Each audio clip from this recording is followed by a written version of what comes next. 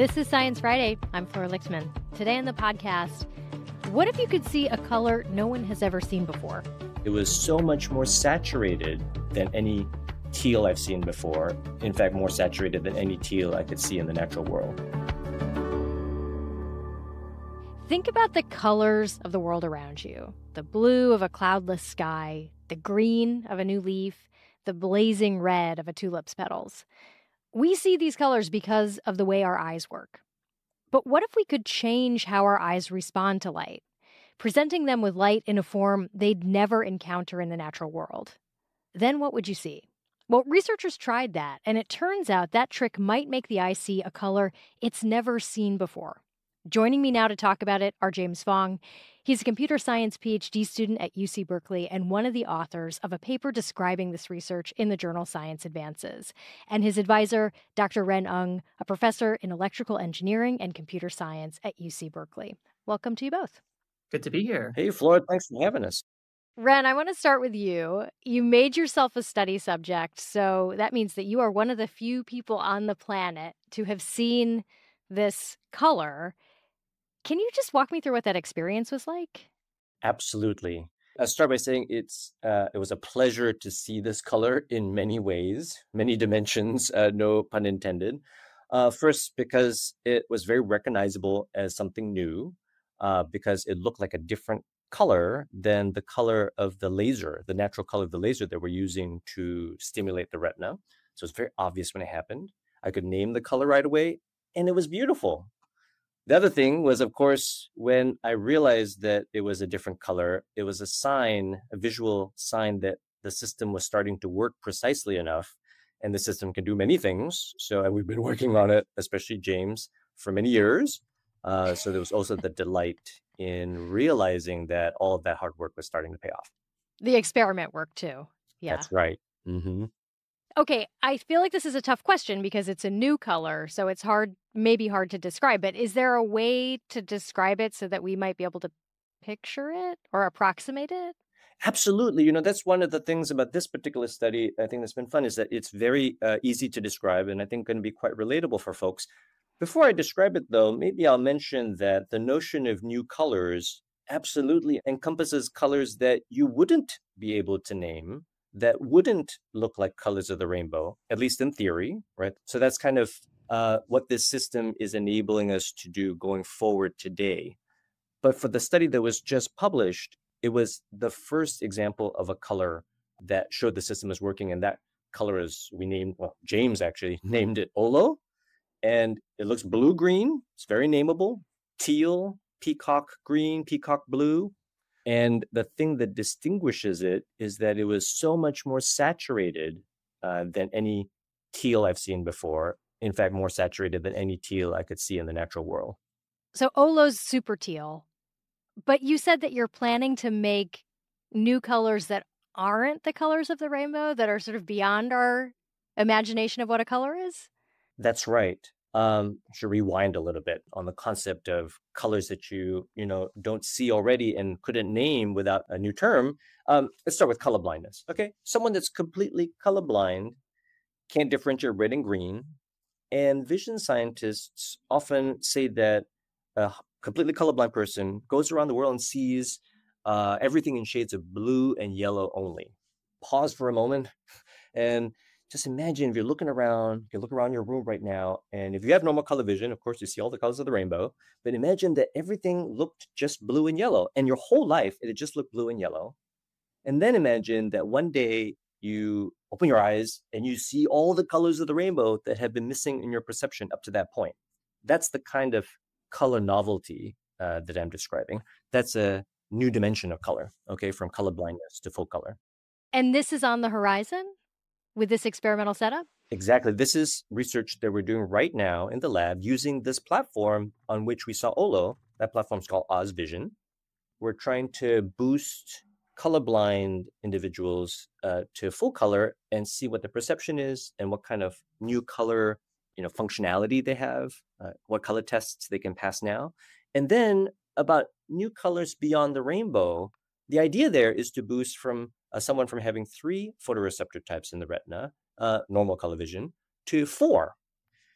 And if you do that, there's another student in our group, uh, Jessica Lee. She has a paper about tetrachromacy and the theory of what tetrachromatic color experience would be like. Like, what would be it like to try to walk around the world and see the world filled with this four dimensional color instead of three dimensional color? The brain would be receiving a dimension of color beyond the rainbow and trying to determine whether the brain can receive that, make sense of that, create a visual percept out of that is the core of the research there. Wow. James, talk me through the setup for this experiment. Uh, okay. So the idea is that like the end goal, I think, of this platform is that we want to have programmable control over the activity of every cone cell in the retina at every point in the time. And if you don't already know, the cone cells plus the rods in the retina are the light sensitive cells in your eye that eventually lead to your vision. So if one had full programmable control over all of those individual cells, then in principle, you should be able to recreate any visual stimulus that you could possibly imagine, at least the ones that come from the real world. Now, to be clear, that's not something that we've totally achieved in this study, but that's sort of the main goal of what we're trying to do here. So, the current platform right now, the way it works is that we use uh, this wonderful piece of hardware called an adaptive optics scanning laser ophthalmoscope, which is a big mouthful, but the idea is that we're able to project this tiny little point of light that is about the size of a cone cell onto your eye and scan it such that we can collect a live feed of what the retina looks like. So it looks like this black and white image which a bunch of bright spots that indicate where all the cone cells are. And at the same time, in that same uh, little bright spot of light, which is uh, I should say, is in infrared, so it's uh, nearly invisible to the subject. We inject a visible wavelength beam, so in this case, uh, 543 nanometers, and then modulate the intensity of that beam so that as it passes over each cone cell of interest, it is increased to the level necessary to activate that cone cell to the degree that we're interested in having it activate, right? So you're shooting a laser into the eye and you you can shoot very specific wavelengths of light and you importantly can actually target the exact cone cells you want to hit. Yes, that's the idea. And normally humans have three types of cones, right? Yes. So there's three types of cone cells. They call them the L, M, and S cone cells for short, which are short for being sensitive to relatively long, medium, or short wavelengths of light. All right. So the long wavelength sensitive cones are more receptive to the red end of the rainbow spectrum, and then the short wavelength cones are more receptive to the bluer end. And then the M cells, the uh, medium wavelength cone cells, are somewhere in between. So, what's really interesting about the M cells is that the spectral sensitivity is very highly overlapped with the L and the S spectral sensitivities. So, as you sweep through different wavelengths of light, you'll find that there's no wavelength of light that will only activate the M's and neither the L's or the S's. So this is interesting, right? This also means by extension that no natural light, which is a combination of these individual wavelengths, can stimulate the M cells in isolation. So OLO is interesting because that corresponds to us uh, taking this programmable platform and programming it to send light, like to target the light only to the M cells. So if done correctly, then uh, only the M cells would fire, and this would correspond to a totally new color percept. Okay, so when we're talking about giving people access to new colors, colors, you know, that aren't part of the rainbow we've never seen before, tetrachromatic vision, how do you actually do that? Is it more than just exposing them to certain wavelengths of light? It totally is. And in fact, in our group, we do are trying to do this in two very different ways, Flora. So the first one is with this Oz Vision system where people have seen OLO. The idea is that we take a subset of the cells on the retina and we say, hey, we're going to call you a virtual uh, new cone type and we pretend that they're filled with a fourth photopigment uh, that they're not. Uh, but we stimulate them as if they are filled with that uh, fourth photopigment, and thereby we send a fourth channel of, uh, of color to the brain. Then it's all up to sort of can the brain make sense of that or not. The idea is how many distinct, you know, cell types there are sending color information to the brain. In a colorblind person, a hard colorblind person, that's two. In regular color vision, it's three. And one way to send that third color channel of or additional color channels of information into the brain is to program Oz vision. Another way might be to change the eyeball itself. Uh, that isn't being done in people, but uh, studies have been done in squirrel monkeys. In the Neitz lab uh, of University of Washington, they use gene therapy to add a third uh, photopigment type uh, onto the retina, you know, physically of colorblind uh, squirrel monkeys. Those squirrel monkeys in a through into adulthood have failed color tests right their whole life. In adulthood, they get this uh, gene therapy. The eyeballs turn from two cone receptor types to three, and as far as the researchers can tell, right away, those monkeys start passing these color vision tests full speed that they failed uh, their whole lives into adulthood. Okay, so it's just re- just a remarkable study. So that'd be another way to do it. You know, Ren, this study makes me think about a thing that I think you know people often talk about about perception, where Eh, this question of like, is your experience oh, of a color, you know, or generally experience of the world the same as my experience of it? Does this work help us understand that question better? Is that a question that's interesting to you as someone who studies this? I love that you went there, Flora, because that is one of the big questions, right?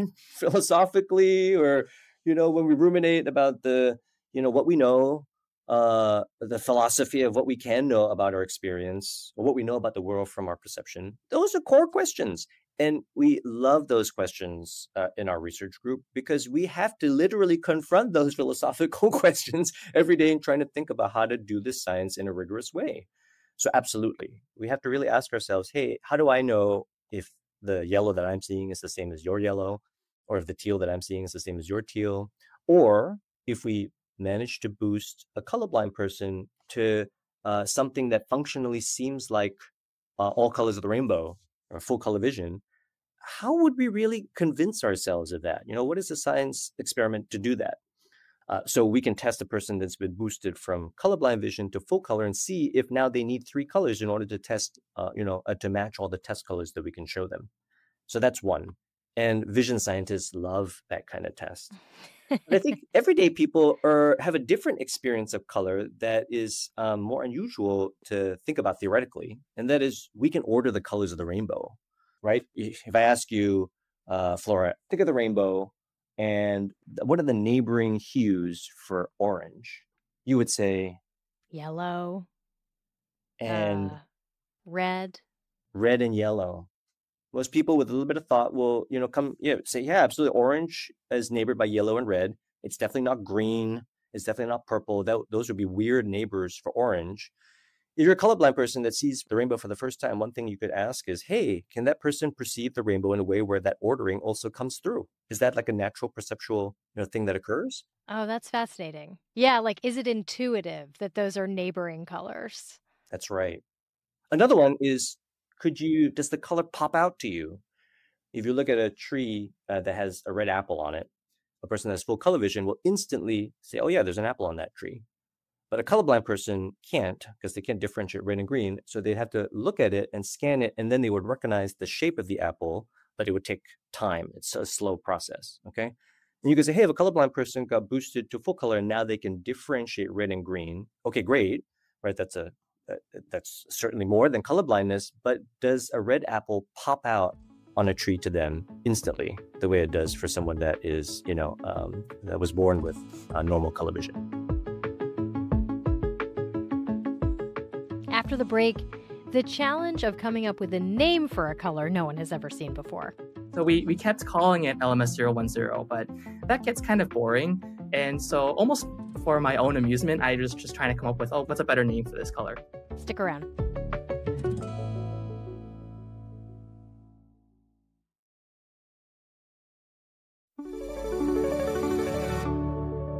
We sometimes hear about language being important for understanding color. Like if you don't have a word for the shade of a color, you might not see it. Ren, how do you think about that? I think that is such an interesting idea, Flora. And I really don't know the answer to that. I'm so curious about it. And I think we have a unique way to get a, a peek into that uh, at the moment where a colorblind person in uh, this Oz Vision system begins to have this ability to differentiate colors, red, green, order the rainbow, if that's possible. We're testing right away. Can they learn to name the colors? And then we want to ask them what the appearance of this, you know, uh, of these colors is. And I think there is an opportunity in trying to learn what the names of these colors are in watching video, okay, like, you know, TV shows, for example, and trying to understand or to think about what the, the colors that the person is seeing and what their names are. Does the experience of viewing those colors. We call that the qualia, right? Does the qualia of those uh, viewed colors change in connection with language and the cognitive task of trying to think about what those color names are and how one would communicate it to others? We don't know yet, but if I had to bet, I bet it does have an effect. The language, and particularly connected with doing tasks that require you to uh, use the color information. We will see. James, why did you pick the word Olo for this color? Oh yeah, so that's a that's a fun story. So for a long time, like before, like way before uh, we were anywhere close to being able to show Olo uh, for real, uh, we were just sort of talking about it as a coordinate in ambient three-dimensional color space, right? So you can imagine that there's a three-dimensional color space that includes all natural colors as well as these hypothetical imaginary colors uh, that you can just label the axes L, M, and S corresponding to the activation levels of the L, M, and S photoreceptors. And so uh, OLO would be corresponding to the point which has 0L, 1M, and then zero S activation. So zero, one, and 0. And so, yeah, maybe you can start to see this, right? So um, nerdy. I love yes, it. Yes, yes, yes. So we, we kept calling it, oh, LMS uh, 010, LMS 010, but that gets kind of boring. And so, almost for my own amusement, I was just trying to come up with, oh, what's a better name for this color? And uh, I came up with this short list of ideas. And one of them was, why don't we just take 010, kind of write it out on the whiteboard and kind of squint your eyes? And so, yeah, it looks kind of like the word OLO. And originally, it was just for entertainment, but people really, really loved the name. Is so great. It's this XOR background, but it's uh you know, it just sounds great. And someone pointed out to me that you know it's the middle three letters of color, Flora, and I, I love that too. Yes, yes, that that's a total coincidence. Um, but yes, it, the name comes directly from just the coordinate in color space, which actually has a lot going for it, right? So, for instance, it doesn't presume any particular appearance of the color. Okay, so I think when we were originally we are trying to think about uh, what this might look like, maybe colloquially we might have called it the greenest green you've ever seen. But uh, we soon realized, well, actually, it's it's not that it's not good to try and name it before anyone's actually seen it because who knows, maybe it's something totally different. And in fact, we would have uh, been wrong. Like a child, you know, like y- when you see it, you might think the name doesn't fit at all. Yeah, yeah, exactly. Uh, so uh, I remember uh, very fondly that someone had come up to me and then said, "Oh, I really love the name because not only is it cute, but it rhymes with YOLO." And this was sort of, uh, you know, this is during the time when uh, people said, you know, really, you know, YOLO culture was sort of still on its high. It's a meme now. Eh. Olo is a meme now, and you came up with that name. Yeah, that thank name. you, James Fong. yes, thanks, Ren. It's it's not every day that you get to name a new color, so I'm glad that I got the I got the the chance to do that. James Fong and Dr. Ren Ng, both in electrical engineering and computer science at UC Berkeley. Thanks to you both for joining me today. Flora, thanks so much for having us. Yeah, thanks so much for having us. And that is about all we have time for. Lots of folks helped make the show happen, including D. Peterschmidt, Praise Aguchi, Kathleen Davis, Santiago Flores. I'm Flora Lichtman. Thanks for listening.